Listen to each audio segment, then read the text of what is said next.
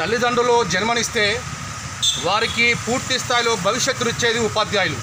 మరి అలాంటి ఉపాధ్యాయులు కరోనా మహమ్మారి పుణ్యమంటూ గత ఐదు నెలలుగా వేతనాలు లేక నానా ఆర్థిక ఇబ్బందులు పడుతూ చివరికి ఆత్మహత్య చేసుకునే స్థాయికి పోతున్నామంటే ఈ సిచ్యువేషన్ అనేది టీచర్లు అధ్యాపకులు లెక్చరర్స్ యొక్క బర్నింగ్ ఇష్యూ అనేది ఏ స్థాయిలో ఉందో అర్థం చేసుకోండి. తెలంగాణ రాష్ట్ర ఉద్యమంలో టీచర్ల పాత్ర అనేది ఎప్పటికీ మర్చిపోలేం.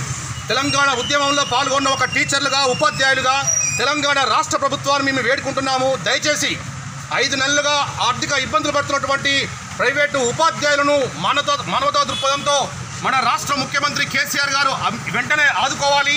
మరియు ఇప్పటిదాకా మీరు రైతు ఆత్మహత్యలు చూశారు. భవిష్యత్తులో ఉపాధ్యాయుల ఆత్మహత్యలు కూడా జరగబోయే సిచ్యువేషన్ అనేది దగ్గరలో ఉంది. ఆలోచించడానికి భయం వేస్తూ ఉంది. సో ఈ సందర్భంగా తెలంగాణ రాష్ట్ర తెలంగాణ ప్రైవేటు లెక్చరర్స్ అసోసియేషన్ ఆధ్వర్యంలో మా డిమాండ్ ఒకటే. మాకు కళాశాలలు ప్రారంభమయ్యేంత వరకు మమ్మల్ని ఆర్థికంగా ఆదుకోండి.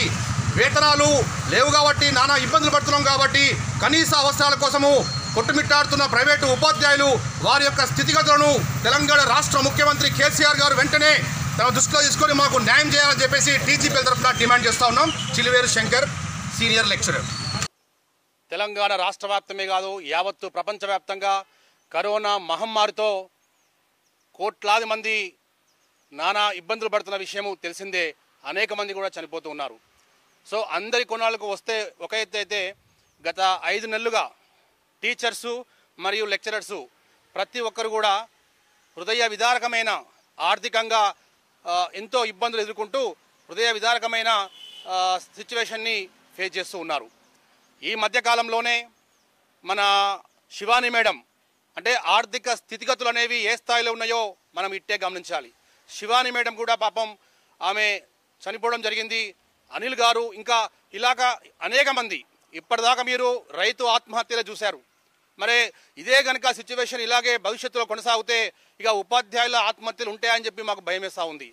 కాబట్టి దయచేసి తెలంగాణ రాష్ట్ర ప్రభుత్వము తెలంగాణ ముఖ్యమంత్రి కేసీఆర్ గారు కూడా మానవతా దృక్పథంతో మరియు తెలంగాణ రాష్ట్ర వ్యాప్తంగా ఉన్నటువంటి టీచర్లు ఉపాధ్యాయులు అందరినీ కూడా ప్రైవేటు ఉపాధ్యాయులను హక్కున చేర్చుకొని మానవత దృక్పథంతో మా కళాశాలలు స్కూల్స్ ప్రారంభమయ్యేంత మాత్రమే మేము కోరుతున్నాం.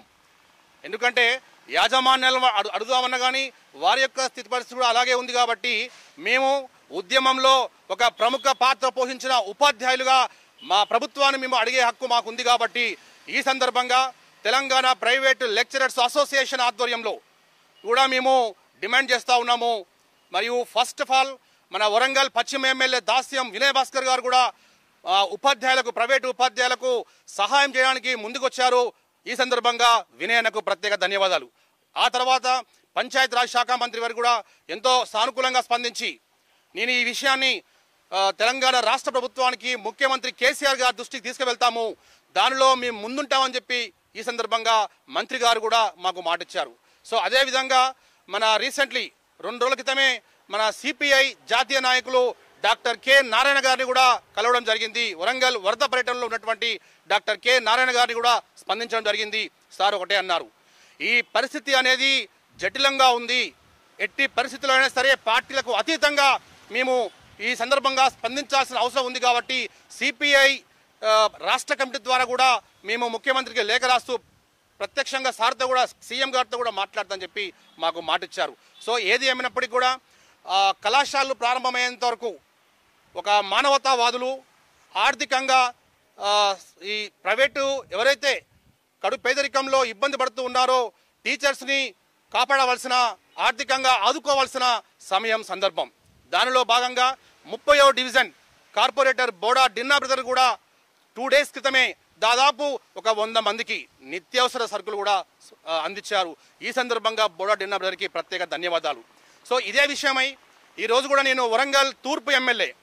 ఆ తూర్పు నియోజకవర్గంలో కూడా చాలామంది ప్రైవేటు ఉపాధ్యాయులు మరి మా పరిస్థితి కూడా కొద్దిగా మా ఎమ్మెల్యేగా దృష్టి తీసుకువెళ్ళని చెప్పేసి ఇలా మార్నింగ్ నాకు వాళ్ళు గుర్తు చేయడంతో ఇదే విషయం నేను నన్నపనేని నరేందర్ ఎమ్మెల్యే గారికి కూడా వాట్సాప్ చేయడం జరిగింది. అన్న కూడా సానుకూలంగా స్పందించి శంకర్ ఈ విషయం పట్ల రేపు నేను నీతో మాట్లాడతాను.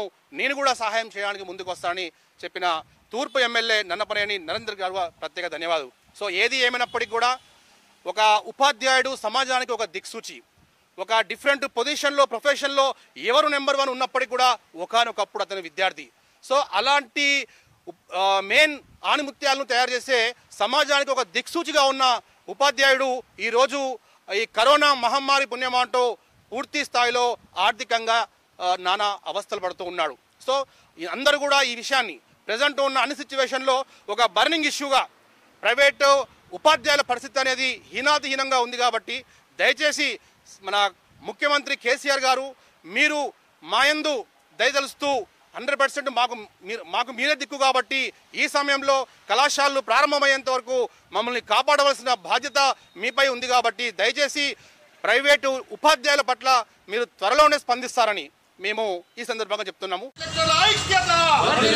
తెలంగాణ ప్రైవేట్ ఐక్యత!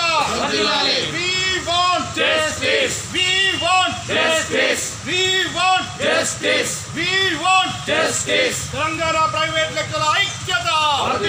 డీజీపీఎల్ఏ ఐక్యత! డీజీపీఎల్ఏ ఐక్యత! తెలంగాణ